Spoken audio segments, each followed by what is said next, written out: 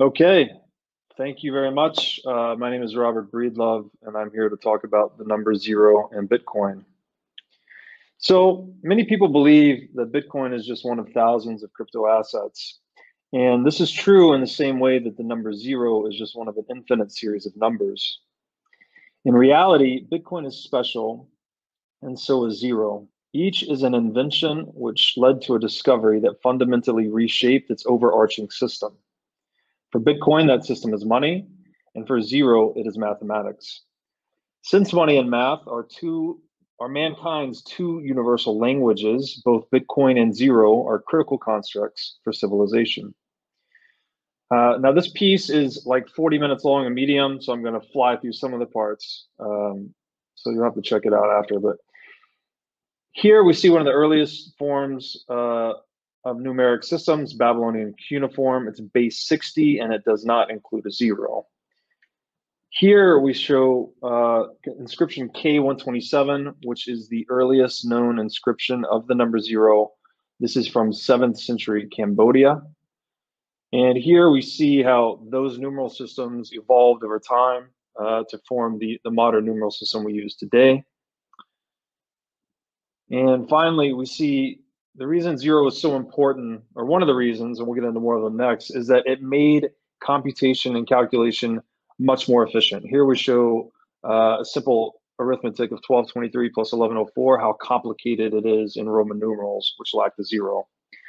So getting into zero a bit and why it was so important, it has three critical functions in mathematics, which I will liken to the three functions of money. And these three functions of one, these three functions of zero are what made it an unstoppable idea. And it's the reason we all use a zero-based number system today.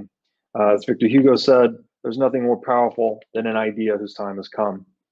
So zero's first function is as a placeholder in our numeric system. For instance, the number zero in the number 1104 here, the zero indicates the absence of value in the tens place. Without zero acting as a symbol of absence at this order of magnitude in 1104, the number could not be represented unambiguously. Without zero, is it 1104 or 114, for instance? This is zero's store of value function. So in the same way that a sound economic store of value leads to increased savings, which undergirds investment and productivity growth in an economy, so too does a sound mathematical placeholder of value give us a numeral system capable of containing more meaning in less space and supporting calculations in less time, both of which also foster productivity growth. Zero's second function is as a number in its own right. It is the midpoint between any positive and negative number, like, and its negative counterpart, like plus two and negative two. Before the concept of zero, negative numbers were not used as there was no conception of nothing as a number, much less less than nothing. In this way, zero is the medium of exchange between the positive and negative domains of numbers. It is only possible to pass into or out of either territory by way of zero. And by going below zero and conceptualizing negative numbers, many new and unusual, yet extremely useful mathematical constructs come into being, including imaginary numbers and fractals. As you may remember, the imaginary number i is the square root of negative one. And this is a really important item to remember for later. And here we show uh, the real and complex or imaginary number planes plotted. Uh, and essentially by, by exponentiating i, we can rotate through the two different planes. And th this really uh, comes into play later. Uh, and negative numbers also gave us the concept of fractals. And here we show the Mandelbrot set, which is uh, you know one of the most beautiful mathematical constructs in, in, all of reality. And, um, you know, it's made possible with zero. So in the same way that the economic medium of exchange money leads to the acceleration of trade and innovation, so too does the mathematical medium of exchange, zero, lead to enhanced informational exchange and its associated development of civilizational advances. Finally, zero's third function is as a facilitator for fractions or ratios. With zero, we can easily convert fractions to decimal form. For instance, one, converting one half into 0.5. This obsoletes the need for long and complicated conversion tables when dealing with fractions. This is the unit of account function of zero. Prices in an economy are just exchange ratios converted into money denominated, a money denominated decimal. For instance, instead of saying this house costs 11 cars, we say this house costs $440,000, which is equal to the price of 11 $40,000 cars. So money gives us the ability to better handle exchange ratios in the same way zero gives us the ability to better handle numeric ratios. And an ability to more efficiently handle ratios directly contributed to mankind's later development of rationality, which is a logic-based way of thinking at the root of major social movements such as the Renaissance, the Reformation, and the Enlightenment.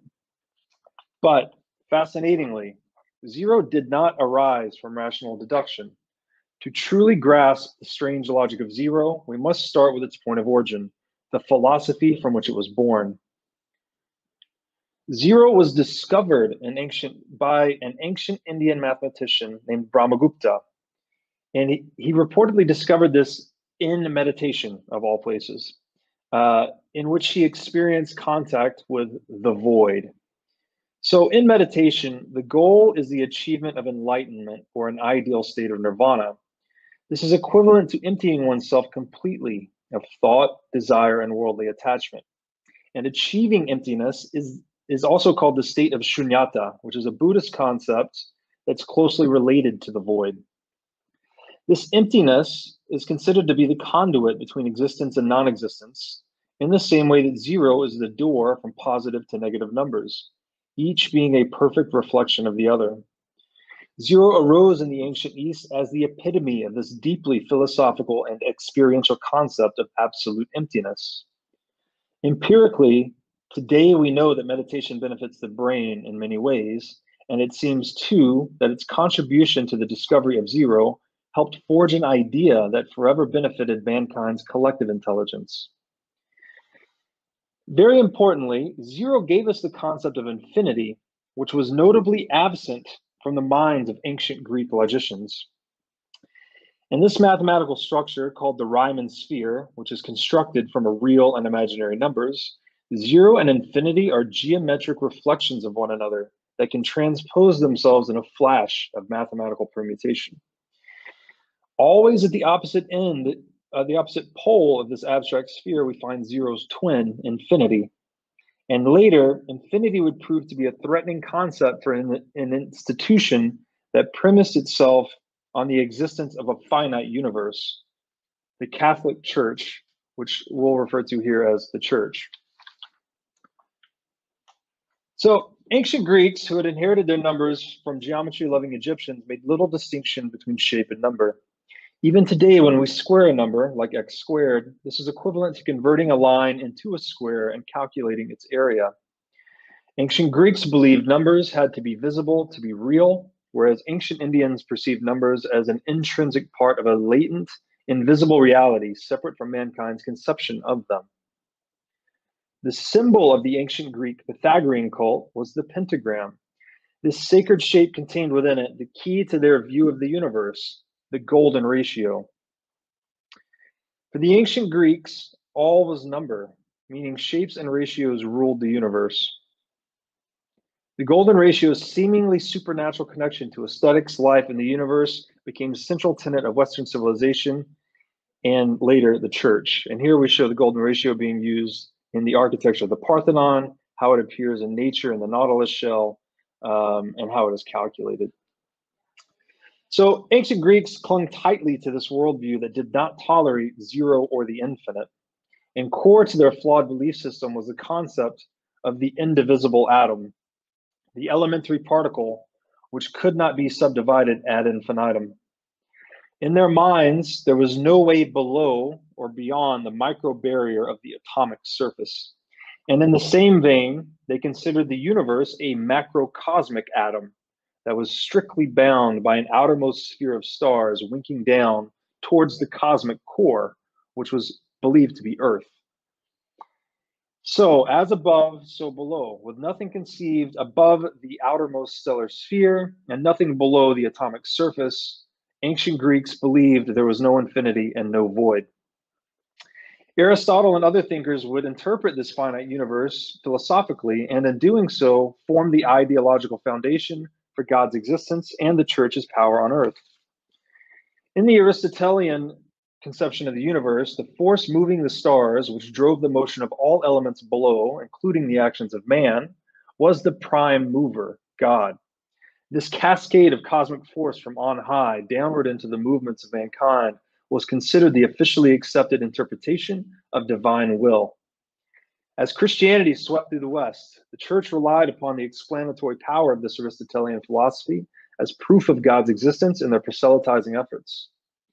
However, infinity was unavoidably actualized by the same Aristotelian logic that sought to deny it. By the 13th century, some bishops began calling assemblies to question the Aristotelian doctrines that went against the omnipotence of God. For example, the notion that God could not move the heavens in a straight line because that would leave behind a vacuum, or in other words, a void. If the heavens were being moved linear, linearly, then what was left in their wake? And through what substance were they were they moving? This implied either the existence of the void in, as in the vacuum through which it was moving or that god was not truly omnipotent as he could not move the heavens in a straight line. This insight eroded the power of the church an infinite universe meant there were at least a vast multitude of planets many of which likely had their own populations and churches since Earth was no longer believed to be the center of the universe, why should the church have universal dominion? And in a grand ideological shift that foreshadowed the invention of Bitcoin centuries later, zero became the idea that broke the church's grip on humanity, just as absolute scarcity of money is breaking the Fed's stranglehold on the world today. So, fast forwarding to modernity in the age of zeros and ones, Many centuries later, zero became the cornerstone of calculus, which is an innovative system of mathematics that enabled people to contend with ever smaller units approaching zero, but cunningly avoided the logic trap of having to divide by zero. And today, all physical sciences, and I mean all, rely on calculus. This includes physics, chemistry, biology, engineering, and everything else. And as binary code now forms the foundation of modern software engineering, Zero is essential to the development of digital tools like the personal computer, the internet, and now Bitcoin. More than just a new monetary technology, Bitcoin is an entirely new economic paradigm. Bitcoin is an uncompromisable base money protocol for a global, digital, non state economy. Bitcoin is superior to all other crypto assets due to an obscure concept called path dependence, which we'll now explore. Path dependence is the sensitivity of an outcome to the order of events that led to it. For instance, you if you shower and then dry yourself off, you get a drastically different result than if you dry yourself off first and then shower. So in life, once started down a particular pathway, breaking away from socio-political inertia can eventually become impossible. For instance, imagine if the world today tried to standardize to a different size of electrical outlet. Consumers, manufacturers, and suppliers would all resist this costly change, which would require either one of two things either a free market or pull method, in which people were induced to change by a prospective benefit, or an unfree market or push method, in which people were forced to change in the face of some threat. So, when Bitcoin was launched into the world, it was released as a one of a kind technology, a non state digital money that is issued on a perfectly fixed, diminishing, and predictable schedule. If a new, as a thought experiment, if a new Bitcoin were launched today, it would have comparatively weak chain security, liquidity, and network effects early on. And this head start makes Bitcoin's lead in hash rate seemingly insurmountable because everything would just collapse into Bitcoin. And as a real world example of this, we have the Bitcoin Cash fork, which its failure is a, is a real world reinforcement of the importance of Bitcoin's path dependent emergence. as it shows that a competitive crypto asset, even with an absolutely scarce money supply, fails to compete with Bitcoin because Bitcoin has superior liquidity, chain security, and network effects. So, because of path dependence, the idea of absolute monetary scarcity is a one time discovery. And it goes against the wishes of entrenched power structures like the Fed. Like zero, once an idea whose time has come is released into the wild, it is nearly impossible to put the proverbial genie back in the bottle. In this sense, Bitcoin is the discovery of absolute scarcity, an idea that is changing the world as tremendously as its digital ancestor, the number zero. And it's a really big deal because it's a really big idea. And ideas are life forms in and unto themselves. As Carl Jung said, people don't have ideas, ideas have people. And I think many Bitcoiners could, could testify to how, just how gripping this mind virus is. And when it comes to money, the idea of money is a game in which scarcity is its Schelling point or the default strategy. And Bitcoin exhibits perfect scarcity, making it a perfect monetary strategy, or what I like to call the economic singularity. And today, central planning in the market for money, as Andy spoke about earlier, uh, which is also called central banking or monetary socialism, is failing. This tyrannical financial hierarchy has increased worldwide wealth disparities.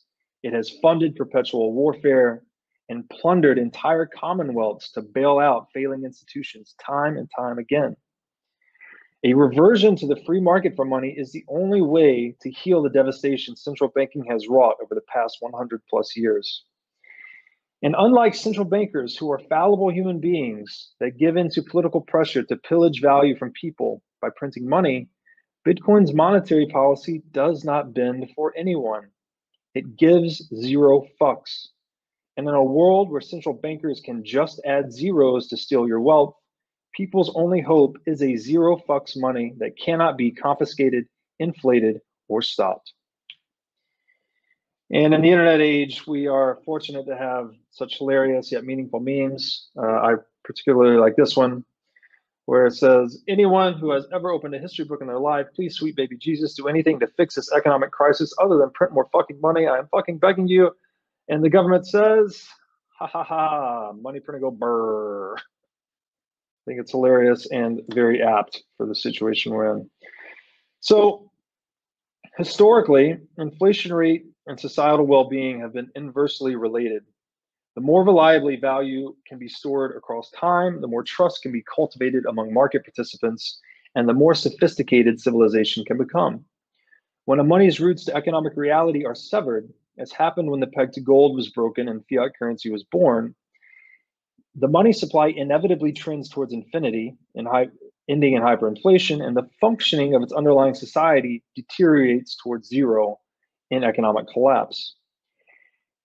As an unstoppable free market monetary alternative, Bitcoin is anchored to economic reality through proof of work energy expenditure and has an inflation rate predestined for zero, meaning that a society operating on a Bitcoin standard would stand to gain in virtually infinite ways. When Bitcoin's inflation rate finally reaches zero in the mid 22nd century, the measure of its soundness as a store of value, the stock to flow ratio, will become infinite. People that realize this first and adopt it early will benefit disproportionately from the resultant mass wealth transfer. So, in conclusion, only unstoppable ideas can break otherwise immovable institutions. Zero brought the church to its knees, and Bitcoin is bringing the false church of the Fed into the sunlight of its long awaited judgment day. And in a grant, in an echo of history, us moderns can once again hear the discovery of nothing beginning to change everything.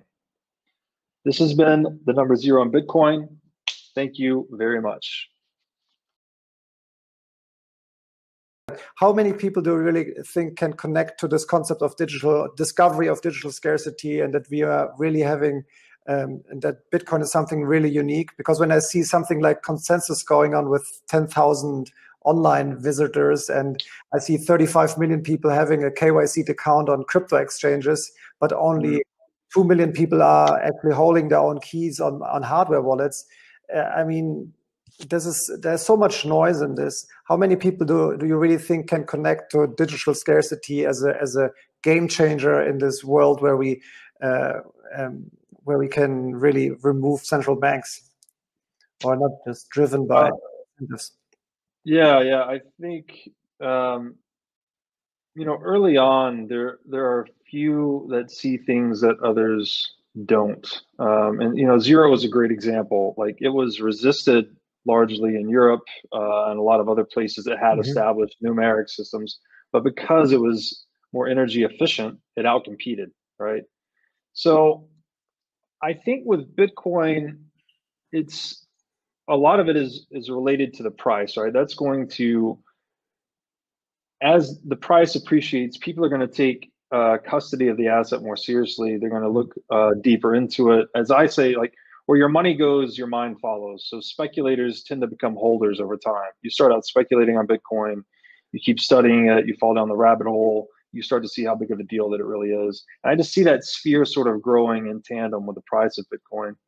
Um, but that, you know, if you look at Carl Menger, who, who wrote a book on the origins of money, he he identified this this notion a long time ago that there's there's a very small handful of people that identify some a money with superior salability characteristics early on that hold it first and they mm-hmm. form the kernel on which the entire uh, future appreciation of that asset is based so i think you know, we're just seeing that in the digital age with bitcoin um, only this time it's happening at a, at a global scale versus in, as an, in an individual trade network so it's mm-hmm. really interesting well, is there something where you say like there's some experience or something you learned or like combination of, of experiences that um, helped you understand the discovery of digital scarcity and Bitcoin? Something where you said like, okay, this was the moment where helped me later on uh, get into Bitcoin or was just a lot of reading and, and general interest uh, in philosophy and?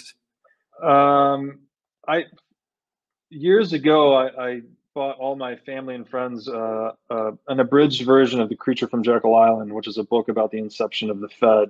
And so for a long time, I've identified central banking as the problem, the core problem with a lot of the problems we see in the world. Mm. And uh, but I, I didn't recognize Bitcoin as the answer to that until about 2017. So mm. it actually took me a while even to see how big of a deal it was.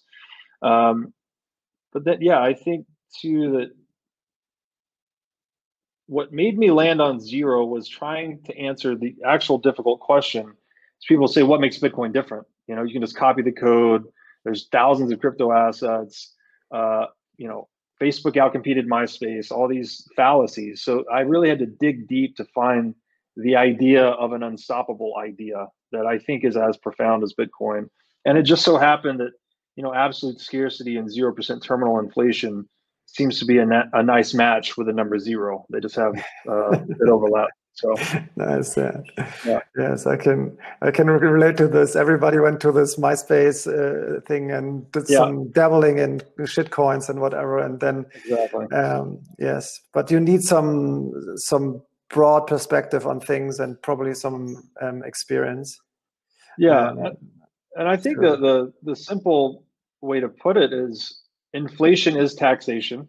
Mm. We hmm. know that. Everyone would prefer a money subject to 0% taxation. Yeah. Every rational economic actor would prefer a money that could not be taxed.